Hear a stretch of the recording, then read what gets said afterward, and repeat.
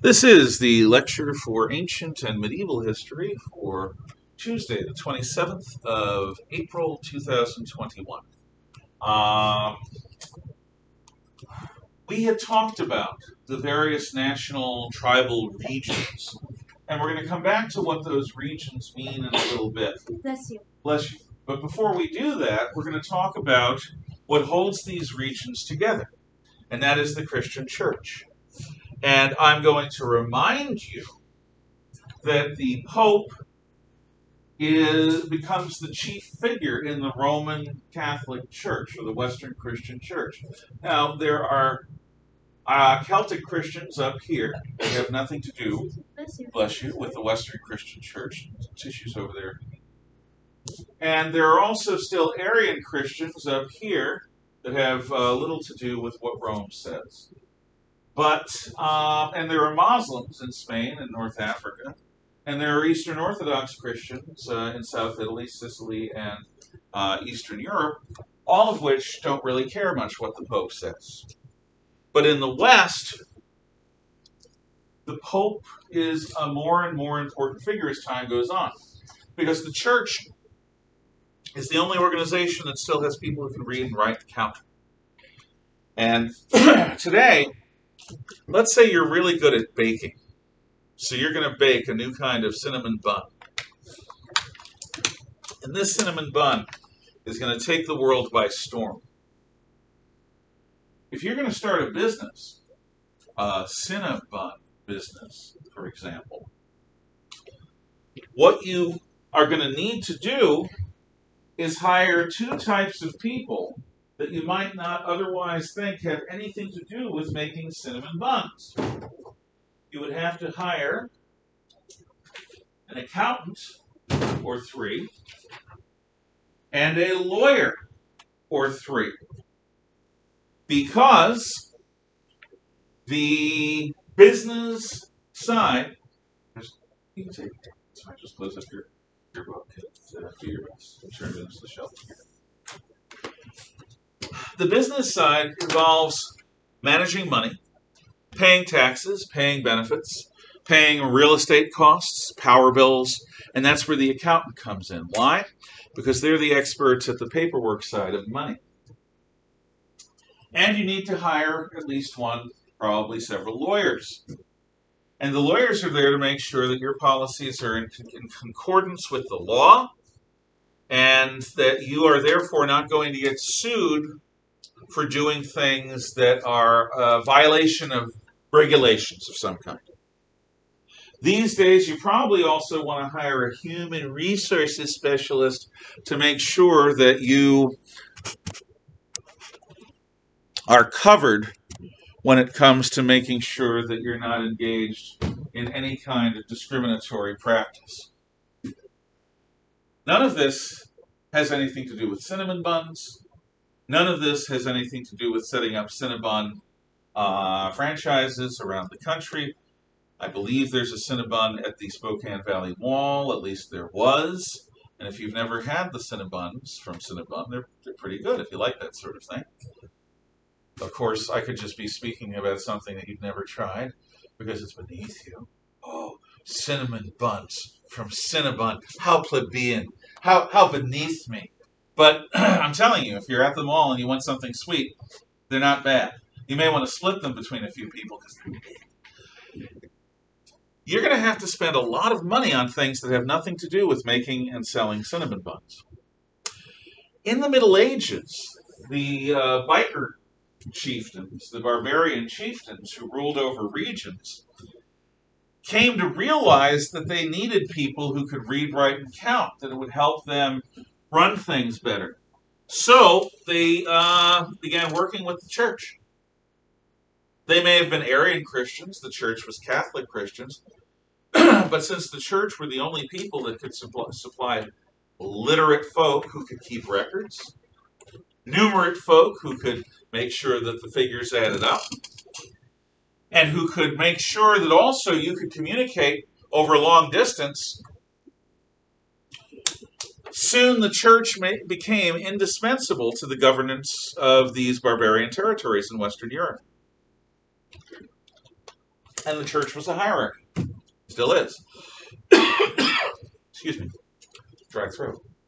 With the Pope as the overall ruler. I told you about Pope Leo facing off against Attila the Hun in a negotiation and winning.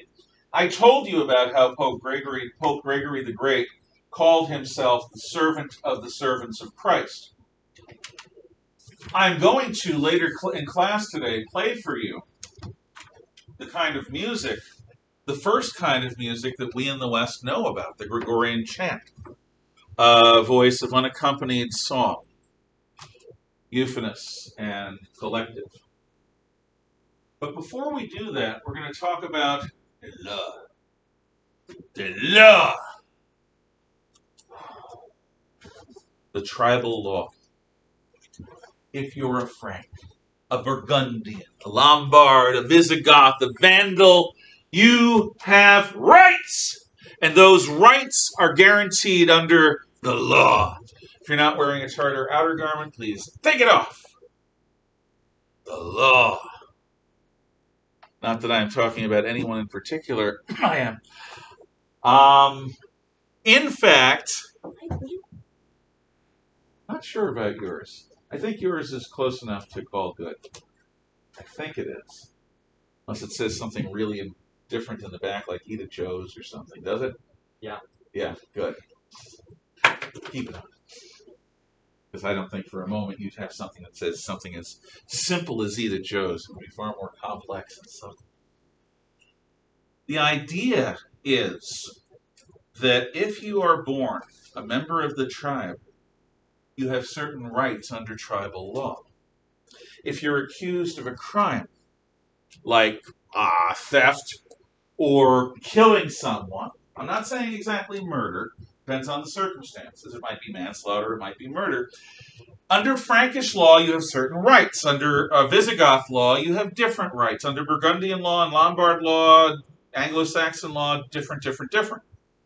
Each tribe has its own way of doing things, but you have a right to those things. You're, you have that right by being born a Frank or one of these others.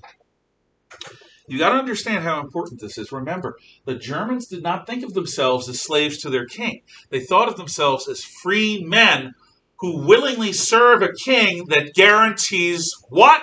Their rights. So these rights are really important. Now, what I'm about to say is only indicated up here by two little words, tribal law. But I want to explain to you how it is a key building block in our freedom. Let's say you are a Frank. Why not? Hot dog, you're a Frank. It's a dad joke. I expect you to groan, not laugh. I know, I just didn't get it. Yeah, that's. Um, and you are going to go to the land of the Visigoths in Spain before the Muslims come. And, well, let's say you're selling uh, golden cloak clasps or, or silver cloak clasps or bejeweled cloak clasps, which is a luxury item because everyone in those days wore cloaks, and what you need is a big pin. And if you're wealthy, that big pin can be made of a precious metal, have gems on it, have a symbol on it. It can be the men dressed up with jewelry, just as the women did in those days. So, okay, you're a Frank as part of a, merch, uh, a merchant party that is going into the Visigothic lands. And you separate from the rest of your party and you go to this mountain town. And in a mountain town, you set settle down for trading for a week. You're going to be there for a week. That'll give you time to advertise and to bring people in, to make a few contacts. But while you're there, a man is killed. And it's a mystery who killed him and why. Human nature being what it is, what problem are you likely to face? If a person just happens to die, all right. When you, because you're foreigner, should we? Right. We're kind of xenophobic as a species. We like us. We don't trust them whoever they are. I am an Auslander, an outlander. And as an outlander, you don't know me. And if it wasn't me that killed your neighbor, it was one of you. And that's a problem because you all know each other. It's like that old horrible country song. Everybody knows everybody. Everybody calls your friend. Uh, Alan Jackson song. We're from the country and we like it that way. Which is like a spike driven through my skull. If it's not me, it's one of you. So it's much easier to assume that the foreigner did it, the Frank did it.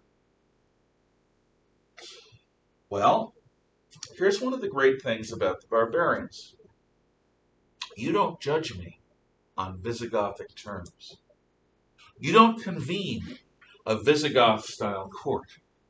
I'm not a Visigoth. I am not entitled to the rights of a Visigoth. I am entitled to the rights of a Frank. So you have got to discommode yourself to find a number of Franks or somebody competent in Frankish law to make sure that during the trial my rights are guaranteed. I do not give up my rights as a Frank when I leave the land of the Franks and enter the land of the Visigoths. I keep them. They are, you're going to love this word, inalienable. Alien means to separate. An alien is an outsider. And a space alien is from another world. Inalienable is a word that means you can't take it from someone righteously unless certain things happen. That's why John Locke and Thomas Jefferson both wrote, We hold these truths to be self evident. That all men are created, created equal and possessed certain inalienable rights. Among these are life, liberty, and property, where Jefferson says life, liberty, and the pursuit of happiness. These are God given inalienable rights. A Frank has rights that you can't separate. So maybe I'm judged under Frankish law and found guilty because you don't want to admit that one of you people are a murderer. Or maybe I'm found innocent, in which case you're back to square one. Either way, you don't railroad me. You've got to give me my due, and my due is my rights. How does this affect us today? Because we don't give up our rights when we travel. Our rights stay with us. We don't lose our rights when we go to another country. Now, it is true that if you go to a communist police state like China and you're accused of a crime, you're going to get thrown in jail and you're going to be judged in a Chinese court because the Chinese are not a part of this whole thing. But normally, say you go to France or Germany or England and you're accused of a crime, you're going to be judged under their law. But the American diplomats at the American embassy are going to make sure that you are not being mistreated, that you are being treated lawfully, that your rights are being protected. What this means is our rights are portable, they go with us. We don't strip them off when we leave home. That means that there is something about being human that gives us these rights. And you can't take them away without due process of law, without a certain set of circumstances happening.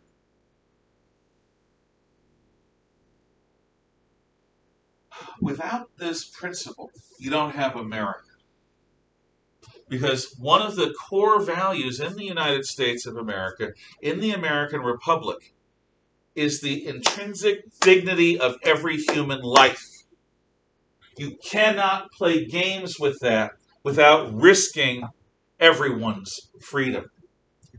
You cannot take rights away from some without imperiling the rights of others. This is one of the reasons why slavery was so odious and obnoxious and incompatible with what had been set up as the American Constitution. Because slavery permanently strips certain people of rights that they should have just by being human. I would consider it part of America's success story. When we start as a republic, only propertied white men of European descent are fully enfranchised, have the right to vote. And I mean, you need a certain amount of property. Now, the Romans did it that way too. But look at us now. Anyone who's not a felon over the age of 18 in most states can vote. Anyone. Men, women, mentally handicapped people vote. Anyone can vote unless they're a felon in certain states. In other states, you can guess what political party runs them. Um, in other states, people who have been felons but have served their time can vote. And there are people in certain states that are trying to get people who are still in prison, currently serving sentences for violating the rights of others to be able to vote while in prison, which is a shocking notion traditionally. That's how far we've gone. Anyone over the age of 18. That's a success. In just 200 and what, 30, 40 years, we have expanded the definition to include almost everyone over a certain age. Why? Because you don't want children voting. You figure that one out. Really, think about it.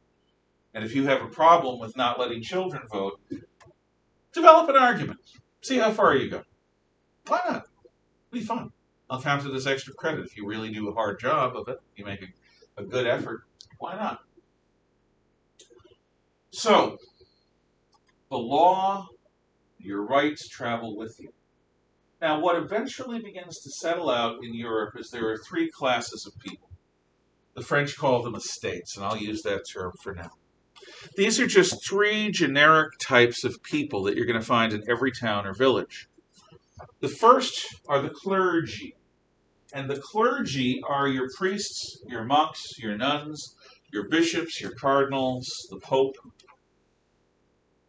Anyone who is a churchman. Now, it does not include elders. Elders are Christian believers that take part in church activities, but they're not men of the cloth. They haven't taken holy vows. They're not nuns. They haven't taken holy vows. If you have taken holy vows, you are a member of the clergy. And as medieval law develops, the clergy have certain rights. For example, only the church can judge clergymen. This has changed. But back in the day, if you lived in France or England or Spain or Italy, and you were a nun or a monk or a priest, and you were accused of a crime, you would not be tried in a civil court. You would not be tried in the king's court. You would be tried in a church court. That doesn't guarantee that you're going to get off. It guarantees that you possess the rights of a clergyman. And those rights will not be stepped on. The second estate is the nobility. The nobility are the upper class. The king, actually, eventually the emperor, the kings, the grand dukes, the dukes, the uh, marquises and counts, the barons, the knights, anyone with a title Lord, Sir, Duke, Prince, King. And to be a member of the nobility, most of the time you have to be born into it. You can't just decide, today I'm going to be a noble. You can call me Lord Fancy Pants. No. The medieval society did not guarantee you the right to be identified as you choose. If you identify as Lord Fancy Pants, you're going to go to the fields and dig turnips all day because you're a peasant, and there you are. And if you keep talking about Lord Fancy Pants, maybe you'll become a court jester or live like a fool. Or maybe you'll just get locked up or uh, sent away or even killed if you're a constant ongoing problem. You've got to be born into the nobility, with this exception. If you do a really, really, really, really, really, really, really, really exceptionally, unusually, really, really, really, really, really special thing, like save the life of your king on a battlefield, or invent something that makes the kingdom much stronger, or something else that's just really, really unusually special, you might, and I say the word might, get rewarded with a knighthood. And that means your children and grandchildren and great grandchildren might inherit that title. And they might rise up generation by generation in the nobility. That's possible. But it's really uncommon. For the most part, the ruling class are descended from the Germans that took over, and the underclass, the peasant class, the third class we're going to talk about, are descendants of the Romans. And that only changes little in the next thousand years. There's very little shifting between uh, the commoners and the nobility. Clergy is a different story. You can be poor and become a priest or a monk or a nun. It's not easy, but you can if you're rich and you become a priest or a monk or a nun, you're going to be upper clergy, you're going to be senior, you're going to be leading. The third estate is commoners. Commoners include people who live in towns who are outside of the system. Because in towns, the few that exist, you're judged on what you do, not who your father was. But everywhere else, you're judged by who your father was. Remember, you are what your daddy does. It's one of the basic rules of the Middle Ages. You are what your daddy does, and God and his church are at the center of all things. Those are the two basic rules of medieval life. So if your daddy was a turnip farmer, then you're a turnip farmer. In the countryside, most people are born into a status that's not free. Peasants, for example, are able to make money, but they have to stay on the land and obey their lord. If they don't, then, well, they're criminals. Serfs are slaves. The only difference between serfs and slaves is that serfs can't be sold away from the land. When you buy a piece of land, you buy the serfs on it. Like today, if you buy a piece of land, if there's a rock or a tree or a brook on it, you get to have those. The serfs come with the territory. Slaves are as ever miserable human tools who are bought and sold uh, the way we buy and sell appliances or you know, garden tools. So those are the three classes that are developing during this Dark Age period. The rules are not fully enforced yet, but this is the way most people are going to live their lives. Most are commoners, peasants, serfs, or slaves, or towns, a fewer are townsmen, and even fewer are nobles or clergy. Questions, comments, thoughts? Okay then what I'm going to do. Mr. Ginorio, Yes. here's a question. Oh, sorry. What about so like if your dad's a farmer or like someone, Oh. A woman's status is always determined by her father, then her husband or brother, then her son. The identity is almost never independent. Now, there were a few queens that we'll talk about, like Eleanor of Aquitaine, who's queen of both parts of France and England. And she was allowed to be an individual, but she was also the wife of two powerful kings, King of France and then the King of England. A woman's status, like a man's status, is derived from birth, from the father. If she marries, and it's usually when, her husband's status is what she takes on. She becomes an extension of him. If her husband dies, but she's still alive and her son is there, her son's status becomes hers. Okay, what I'm going to do is I'm going to play, uh, and I'll, I'll, stop the video for this and put links on, uh, some music with a Dark Age feel. And this is to lead us to uh, Gregorian chants, which we may get to today or tomorrow. So, see you at home.